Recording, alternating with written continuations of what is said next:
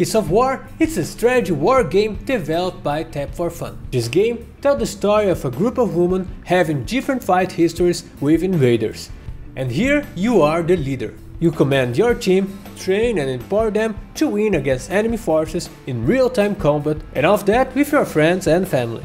And BlueStacks is the best way to have an immersive experience and streamline your gameplay section. So in today's video, I'll show you how you can download and install this game on the PC with BlueStacks.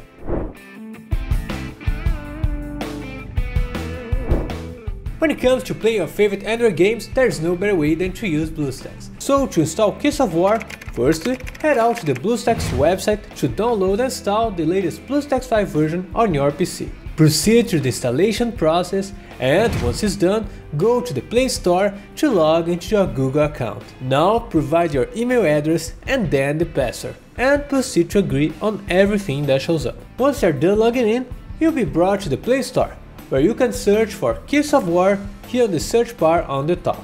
And now click on install just like you would on your regular phone. Once installation is finished, the icon will pop up here on the home screen.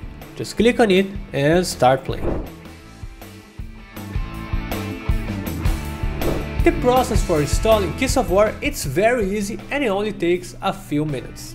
And once you're done, you'll be playing this awesome game on the PC with improved graphics and performance and access to all of the BlueStacks tools and features at your disposal, like being able to play with your keyboard and mouse and much more.